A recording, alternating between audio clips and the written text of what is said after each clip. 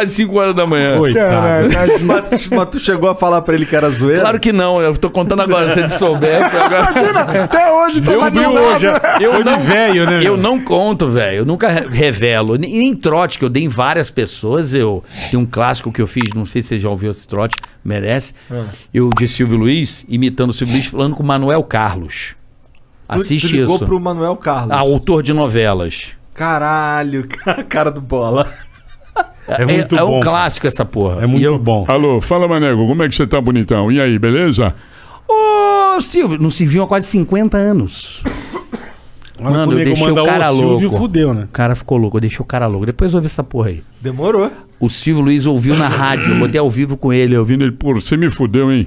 Não falo com o Maneco há 50 anos, caralho. E eram os melhores amigos, olha que história louca. Dei o telefone, ele ligou pro Maneco pra dizer que era mentira, mas eu não liguei, não.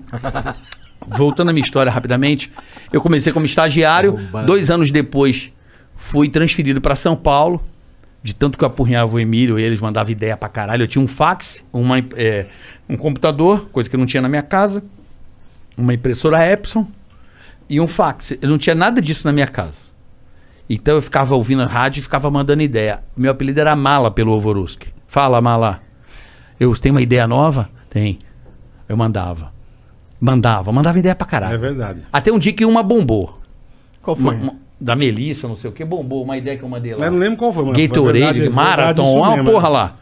Eu mandei É uma ideia, bombou. Aí o cara já começou a ligar. Ó, o Voruski quer falar com você. Sabe a galera já assim, né? Hum. Quando, foi, Aí eu- quando começou a rede Jovem Pan no É. Brasil inteiro. É, né? oi?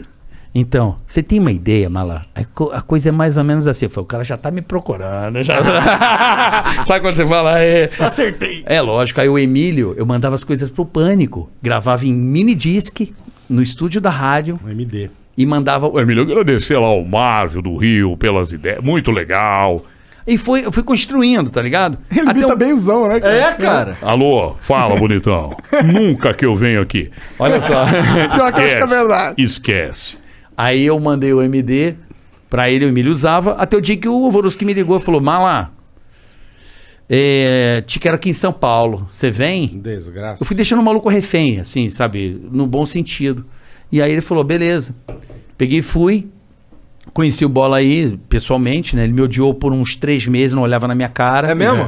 É, é, Só porque sério. ele era super chato, ele te Folgado. zoou. Folgado. Não, o Bola não aceita ninguém novo que entra. Era folgado. Normal, Não, normal, normal. Todo você odeia. Pega um programa, na você época sabe. tinha mandado Ele os caras que era meu parceiro ir embora. Ah. É. Aí chega um cara folgado. Não fui eu que cheguei no lugar dos caras. Caralho, foi, mas também.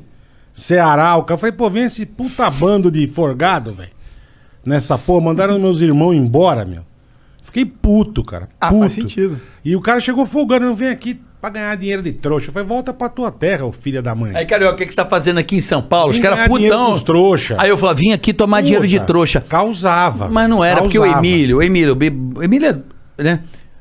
Ó, bota a pilha nos paulistas, caralho. Eu quero ver o pau torar. Que um tempo antes o Tutinha reclamou com a gente. Ele falou, Que na audiência no Rio ele era falou, ruim. porra, Ah, vocês um no vocês falam muito paulista, mas a gente tá no Rio. Eu falei, Tutinha, mas como é que eu vou falar Tinha carioca, muita rejeição o pânico no Rio. irmão? É, muita. não, não era muito... Fizeram é. pesquisa. Aí eu fui pra lá pra Aí tentar. falou, nós né? vamos trazer alguém do Rio pra, pra dar um gás no Rio de Janeiro, pra mostrar que... E aí ele veio. Mas a gente, bicho, quebrava uns puta Eu falava pau. assim, aí juro por Deus, ia muita gente na rádio. Ficava assim, a gente fazia o programa, tinha umas 50 pessoas ali no vidro, era um aquário. Lembra, Bola? Lembro. Gente, vocês não têm noção, era Ficava uma muita galera gente. vendo o programa. Uma galera, ficava uma galera aqui. Se vocês abrirem também pra acontecer isso, vai, vai vir uma galera aí. E tinha nego puto contigo lá? Não, aí eu botava uma pilha, chegava pra, pra- lógico, zoeira, né? Chegava assim, queria falar das paulistas, essas mulheres com bunda de aspirina, branca reta com traço no meio. Falava umas merda assim. Meu irmão, as meninas entravam no corredor, ô filha da puta, aqui tem bunda.